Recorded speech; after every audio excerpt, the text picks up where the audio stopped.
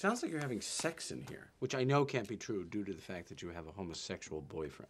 He's not my boyfriend. Hey, no judgment. All God's children. It's fine.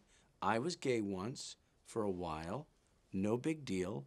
We all do it. It's okay. Dad, can you shut the door, please? You all right, buddy? Yeah. Give him hell.